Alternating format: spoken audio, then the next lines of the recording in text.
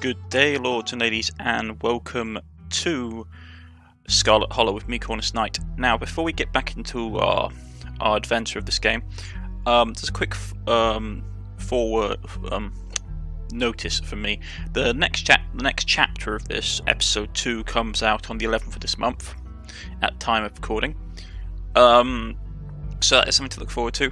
And um, I just wanted to give a little bit of feedback from the the bit of I've played of this game so far.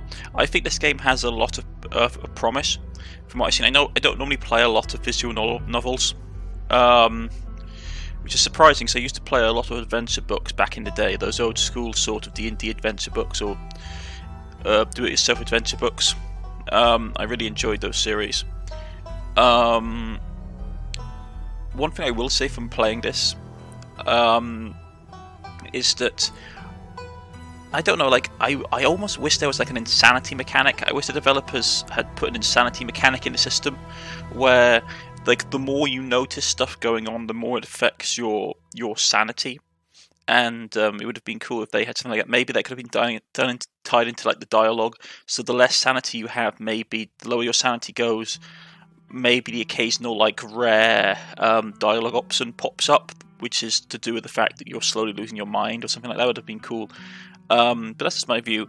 I, I, think this game has a lot of really good premise, and I want to see see more of it going forward. So let's uh, dive right in, shall we? And we're back. It hasn't. It's we've just left the we um the diner. We're on top of the hill.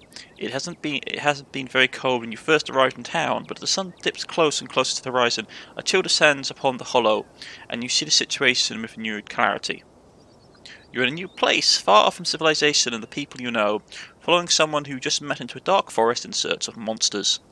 You feel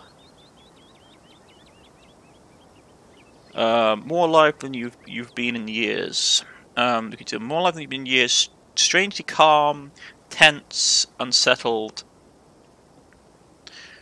Let's say more alive than you. Um, let's go tense, because like, come on, let's be honest. We're going off into the middle of the mountains to a place we don't know, someone we don't know, to hunt for monsters, so we're probably going to be tense. You feel tense and that something terrible could happen at any moment. Every snapping twig, rustling leaf makes your heart beat faster and your eyes go wider. Stella, by comparison, is jaunty. You wish you could have her confidence. Gotta love this brisk, brisk uh, fall weather. This past summer was the hottest on record, since last year at least, says Stella. You know how it is these days. Each summer is the hottest yet until the next summer, which always finds a way to be so much worse. It's just nice to feel a chill in the air and see the leaves change, like normalcy is restored, if only for a moment. Sorry if that's a bit of a bummer, she says. We should talk about something more fun, like like skunk apes. Are you really expecting to find anything? You really expect to find anything out here? What are the chances of you actually running into a skunk, a skunk ape in just one night of filming, you say? That's fair. We are hunting a creature that stayed hidden from humans long enough to gain a mythic reputation. What are the odds of something like that popping out of the star out to star on my little YouTube channel? But hey, the chances are never zero, right? Let's go with this one here. Do you hunt for other things that aren't cryptids, you know, like ghosts, demons, werewolves, that sort of thing? Yeah, for sure, I used to go after all sorts of spooky stuff. I never had much luck though, especially when it came to ghosts. Back when I first started doing solo videos, I'd go into all sorts of old abandoned buildings hoping to stumble across some sort of activity. But nothing ever happened, it was always just me and my camera in an old house getting worked up over a gust of wind or a creaking floorboard. When all's done and said and done, I've just been a lot luck luckier with cryptids. I wanted to believe in ghosts so bad. I can't rule out the possibility that they really are. There are really true horn things out there, but if there are, I'm sure as heck haven't seen any myself. Werewolves, I kind of, I kind of lump those in with cryptids. She says, I'd be shocked if they actually were people out there who would turn into animals, but werewolf, werewolf lore lines up pretty well with the great beast G genre of cryptid. As for demons, I don't know. I honestly don't even want to consider the possibility of that they exist, because if they really are out there, geez, a lot of folk are doomed to eternity of flames. So let's all hope it's just all bunk. Am I right? What about aliens, you say? What do you think about aliens? Don't even get me started. Did you see the UFO videos the government has classified? They actually that's something they actually did do. Um, the U.S. government declassified some videos not too long ago, uh, and it was some pretty interesting stuff. Um, aliens are definitely real, and they absolutely visited Earth. Like I believe in aliens way more than I believe in cryptids. You don't see many haunting, haunt me hunting aliens out there because we know they're real. Um, heck yeah, aliens are real. I'm skeptical. See, that's just what the government wants you to think. Let's see, yeah, that's just what the government wants you to think. Let's go with that one. See, that's just what the government to think. It's easier for them to cover up their secret research programs they trick everyone into thinking aliens behind the abductions and UFO sightings and all that weird stuff.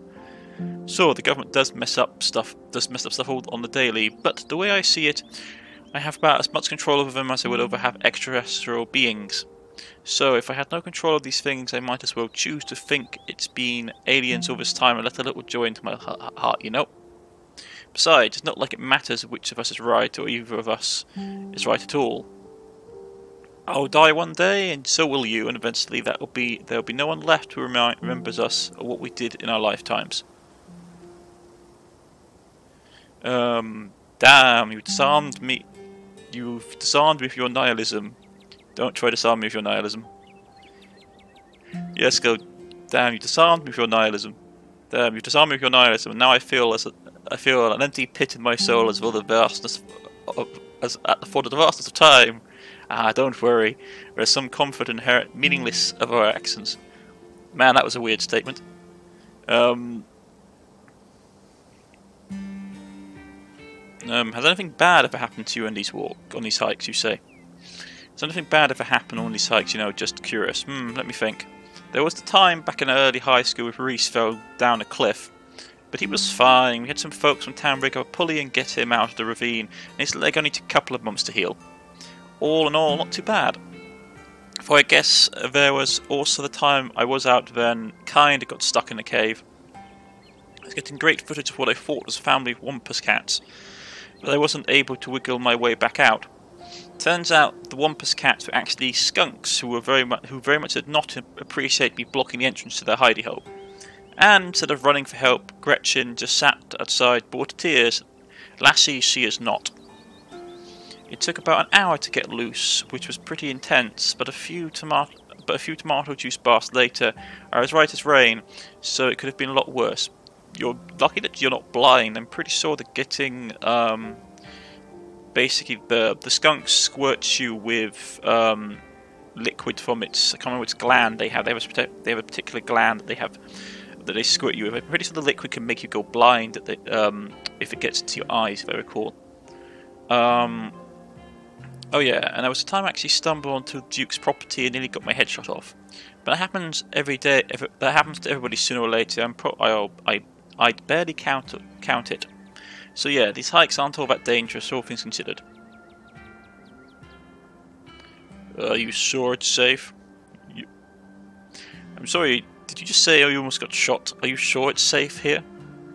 You know, I'm a little surprised you're getting cold feet. I know we just met, but I had pegged you as pretty adventurous. I, I really wouldn't worry about Duke though. He might be a little jumpy, but he means well, and these trails are ways off from his farm. And if it makes you feel any better, I've been out on these trails with him before. The man sounds like a truck crashing through the woods when he walks. We'll hear him long before we see him. And the wildlife isn't anything to be afraid of either. The worst I've seen up here is the occasional black bear, and even they and even they scare easily. But hey, there's no point worrying about whatever bad stuff may happen to us. So mm. sometimes worrying can help you prepare for something, but we're as prepared as, as can be. I even carry I even carry bear mm. mace. And if you are prepared as you can be, why give it give in to your anxiety when you can have fun instead? It's not like being anx- anxious ever stops anything bad from happening. In my experience, all it does is make the bad things worse. The, the only thing you can do to tell you the only thing you can do is tell yourself this has happened. There's no going back to it before this bad thing happened, and then you walk on and make things better. And anyway, all this is to say, we're good, don't worry. Did you hear that?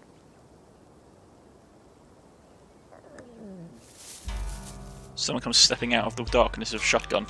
Calm down, Gretchen, you old mutt. Same to you, Stella. You're always jumping at nothing, girl. Phew, sorry for, for being jumpy, Duke. I thought you were some creature of darkness. Nah, girlie, just old Duke. Now, what the hell are you looking for out here? Skunk ape, she declares. Sorry I asked, sighs the man. And who's this you suck suckered into coming with you? Wait a tick, you out you aren't. Is that? Yep. I see. Welcome to the Hollow. My condolences. I keep you I'll keep you in my prayers. Now both you head back into town, you hear? It's best you steer well clear of this area tonight. I am up. I am out dealing with uh, my own critter and won't be too appreciative if a couple of fools with a camera scare away the most the more sensitive wildlife. What are you hunting tonight? Something tall and hairy? Something musky? You see anything like that recently? She declares. Wouldn't you like to know? You never could stay in it. You could never could stay in your business, Stella. Richmond, put the damn camera down. Ah, come on, Duke. Maybe I could help out. I'm pretty good at tracking, you know. I learned from the best. That you did, but I have yet to see a shred of proof that you listened to any of it.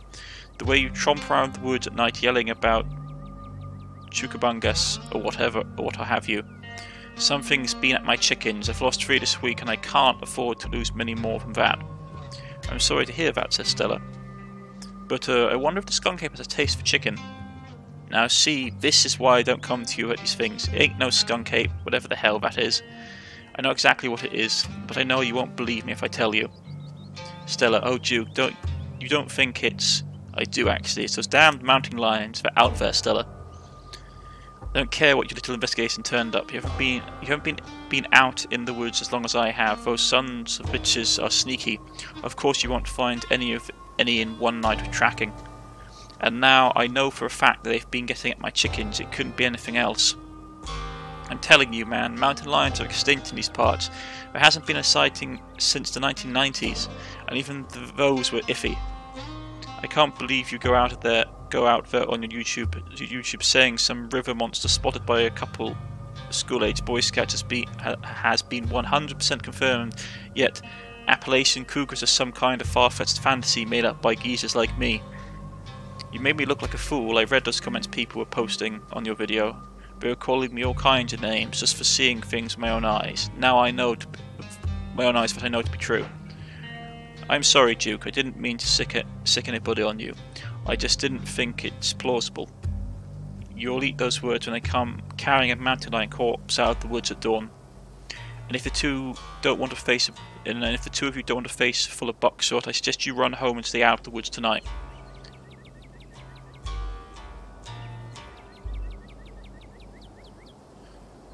Um, let's see what we've got. Uh, powerful build, intimidator. You threatening us? Uh, but we're here first. What if you find a mountain lion? Don't kill it. Right on. Do kill the mountain lion. Can't you uh, just buy more chickens? Okay, let's go.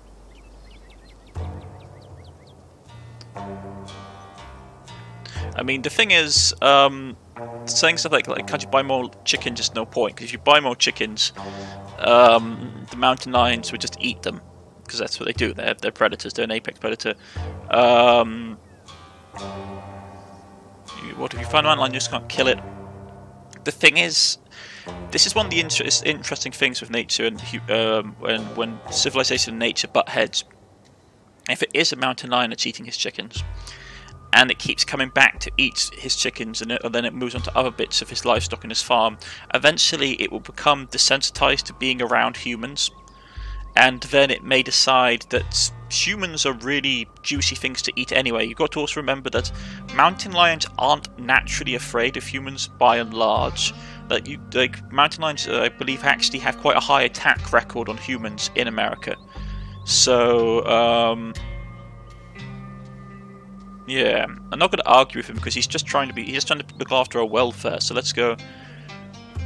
Okay, let's go. Let's go, Stella. He's one with the gun after all. You're right, no point in losing any more time in arguing. Fine, we'll head back to town. Break a leg out there, Duke. Break what now? I mean, good luck, old man. Alright, have a nice night, you all. As you and Stella turn to the trail, she carefully looks back the way you came. Okay, the coast is clear. There's no way we're letting Duke edge us out of that easily. Come on, I know a trail but let us go around him. Yes, I knew you would give you wouldn't give up the hunt. Lead the way. Oh no. We ain't actually heading back to town. Are you sure you don't want to, like, watch a movie instead? No way. Not with Duke and his shotgun out there wanting to blow our heads off. No way. Not with Duke and his shotgun out there waiting to blow... Yeah, this is the thing, like... I, like, like... If I'm going to play my character called Jason, um, like, this is probably the, like, he's going to be, like, sensible, because that's what sensible people do. Um, no way. Not with Duke and his shotgun out there waiting to blow our heads off. Nah, no way. Not Jake, the Duke and his shotgun out there. I like my head intact, not blown to pieces, thank you very much.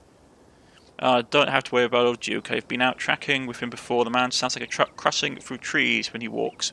Even if we do cross paths, he'll hear him long before we catch wind of us. There's no shaking you, is there? You sigh. Oh, fine. There's no shaking you, is there? Just follow me. You'll just follow me until I finally relent and go monster hunting with you. Still a joke. Laughs. I promise it'll be fun safe. The trail's just up this way. Let's go. this is how people end up getting attacked by vampires and werewolves and zombies in horror films because the person leading them goes, Nothing can go wrong. Alright, this looks like a good shot. Mind holding the camera? She hands you a camera and takes position. As the camera ticks on to record. Hmm, as night falls, my new assistant, the mysterious Jason, and I find ourselves on a high hill in Blue Ridge Mountain, in the Blue Ridge Mountains, where we begin our hunt for the elusive yet pungent skunk ape. Though most encountered in Florida, this possible relative of Bigfoot has been spotted all along the southeast edge of the United States, including right here in this very county. Here, here's hoping we get a glimpse tonight. We'll check back once we're on the trail. Until then, start stay searching Stellars. I can take that camera off your hands for now. We'll be able to start the tracking scene once the sun sets all the way. In the meantime, she says, we'll get taking all this beautiful scenery. It's gorgeous out here, don't you think?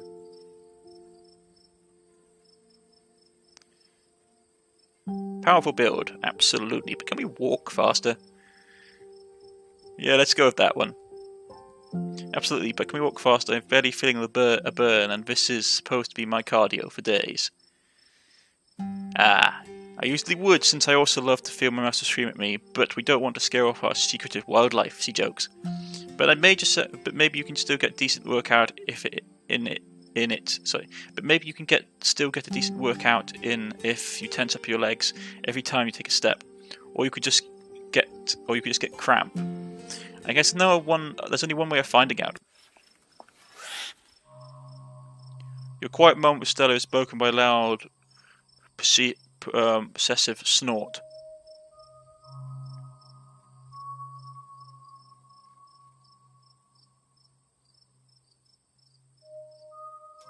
What was that, you say? Now, no need to panic, just the sound the deer makes when they want to warn the rest of the herd about scary predators like us. Check it out. As you and Stella hear the footfalls of animals retreating into the woods, she reaches for a flashlight. That is not normal. A single deer remains behind, staring down the beam of Stella's flashlight while Gretchen whines and pulls at her harness. Yeah, that doesn't look normal at all.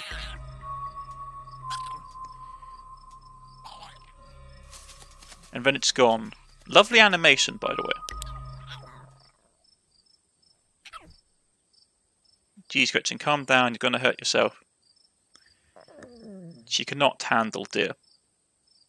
When she gets like this, I, usually have to pick her up and hold her. She has a bad habit of slipping her harness when she wants to go to go after something. You're too much of a potato, and they don't make harnesses to fit potatoes, do they? She cuddles um, the pug.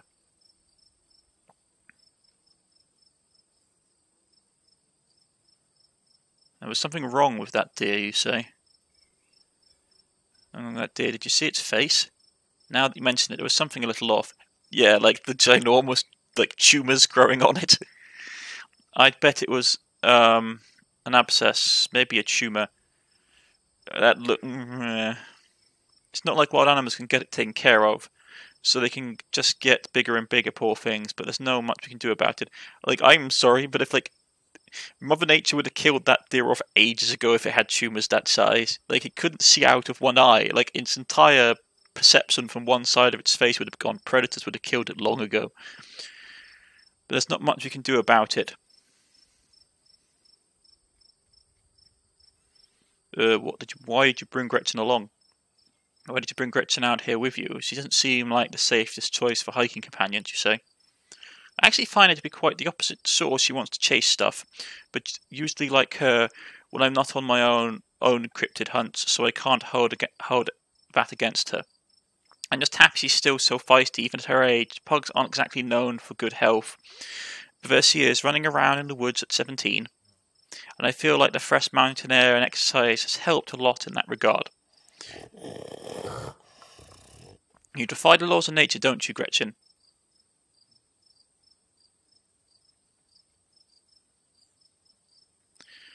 Well, you got my heart rate up. I'm ready for the hunt, you say. We could do that so they can never too late to turn back, remain silent.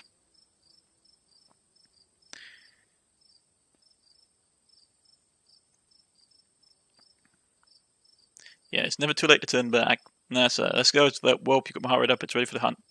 That's got my heart. That's got my heart rate up, and I'm ready for the hunt. Same for me. Now we're about we take a quick snack snack break, fuel up, and then we get right into the night's activities. So I got all the best trail snacks. As you settle down to Stella breaks open a bag of assorted snacks. Powerful build. Take one of everything. Take the trail mix. Take the snar. It takes dried apricots. Sesame snacks. Snack bar. Powerful build. Take one of everything. Grab as much as you can. Your body is a temple, and your priest demands offerings. Aha! Somebody's hungry here. I'm glad you have such a good time with my food. You look at Stella in response, your mouth full of delicious snacks. There would be time for conversations once you're finished, but for now, you eat.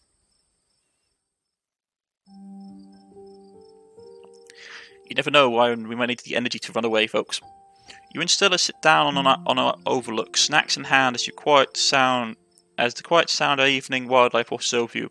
Gretchen gnaws a stick, distracted for a time being. Cute little pug. So tell me what it's like in Truro. Do you have a house, an apartment? Do you live with family, roommates, pets?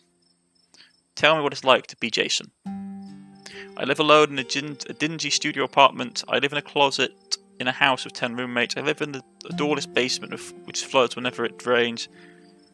I live in an apartment with difficult roommates. I live in a I live in a 12 by 12 set in someone's yard. I live in an internet cafe.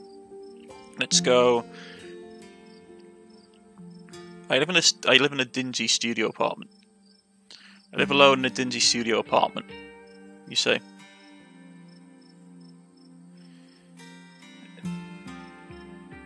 And it's a mixed bag. Yes, let's go with the middle option. Yeah, and it's a mixed bag. At first it was kind of nice to finally have space, it was just mine, but now it feels cramped. It's like I'm stuck in a closet alone and no one can come and let me out because I chose this for myself, and as far as they know, I'm happy being there. The lights flicker, the toilet is constantly getting backed up because the landlady upstairs keeps fussing her cat's litter. It smells like cigarettes for some reason, and it's a home to an extremely durable population of roaches. But I guess it's home. I do what I can to spruce up the place. I, I got a plant, you know, how they say living things are supposed to brighten up the room. When you put it like that, I wonder if staying in that old mansion is a step up or step down for you. Maybe just a step sideways. Have you tried looking for a different place? Maybe uh, finding a roommate? She asks. There's got to be a better apartment than that in a big city like Truro. I've thought about finding roommates. I've had enough bad roommates for a lifetime, and it's cheap. Um, let's go with that one. I've had enough bad roommates for a lifetime, I think. I know it's possible to have good roommate. I know people who are great friends with theirs, but it's never worked out for that. Like worked out like that for me. The loneliness is, is at least better than that, you say. Yeah, that's fair. I never really had roommates, so I have no idea what it's like sharing a place as an adult. I can see that being tough. So, what did you do for a living? I program um, pragmatic ads, programmatic ads for a company nobody ever heard of. I sell arts and craft on Etsy, First year associate at a big law firm. I'm a streamer, I'm a student, I'm a teacher. I'm in the service industry. Uh, let's see. Because like it could be a it could be a lot of things. Like the service industry can be a lot of things. I'm a student. I'm a teacher. I'm in the let's go with the service industry. I know the service industry in America probably means something else, but you could the, the service industry. I suppose it could be like by UK standards, um, sort of like uh, what we call hospitality industry. So sort of like working in bars or hotels or um, restaurants and that kind of stuff. I work in the food in food service. I'm on, on my on my feet all day, getting yelled at for things beyond my control, and I mostly get paid in tips.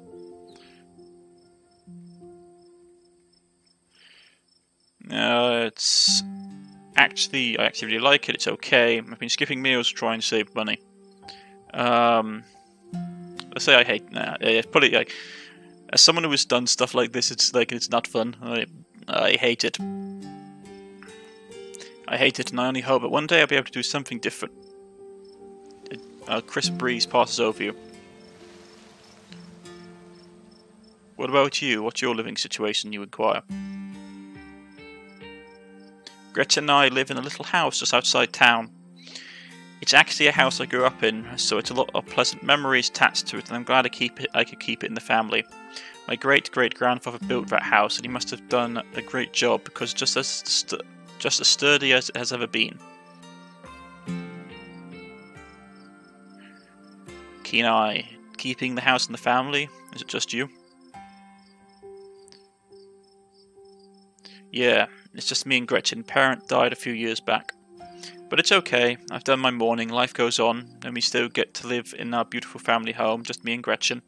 It could have been a lot worse.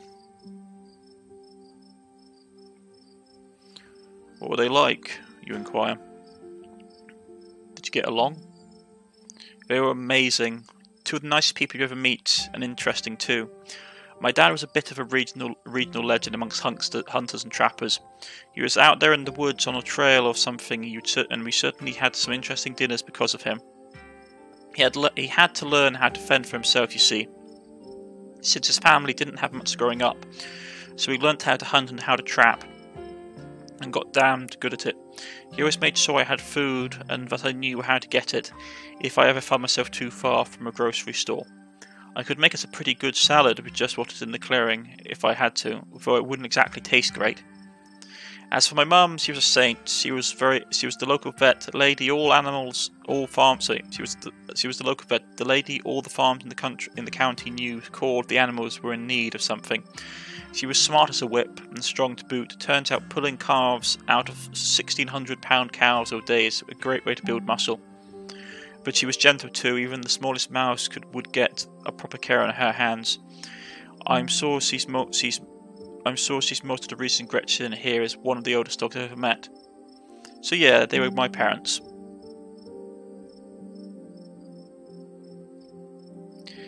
Um, I guess we're both members of the Dead Mums Club, not to overshare. Um, I can relate. My mum died pretty recently. Sorry for your loss. I can let's go. I can let's try and show some sympathy. I can relate. My dad, my mum died pretty recently. Mum died pretty recently, so I get it. It's alright if you ever need to talk about things. Ah, thanks, Jason. That's really sweet of you. How are you holding up?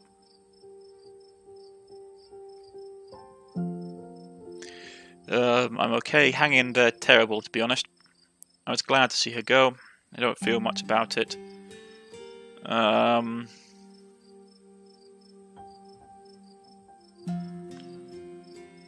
Let's go... Yeah, let's go terrible, to be honest. It wasn't the quick diff, it took years, to the point it was almost a relief when she finally happened. But then it sank in that she was really gone and I was utterly alone. And then the hospital bills started coming in, so yeah, I'm not taking it well, you um, Jason mutters. Yeah, yes, I can't even imagine how bad that must be. It just It's just soaked in the wound at that point. Whoa, that's a sound.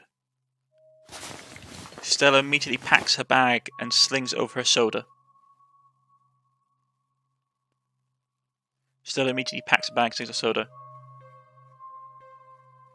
keen eye. Everything went. Everything else went quiet.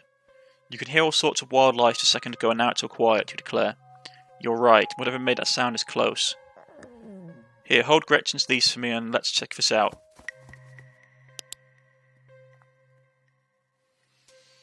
You and Stella inch towards a tree line as she signs her flashlights into the woods. And here, folks, I think is a good place to end for the day on a cliffhanger. Next time we see what lurks in the darkness around the Hollow. I've been Cornish Knight, this has been Scarlet Hollow, and I shall see you all again next time. Enjoy, folks.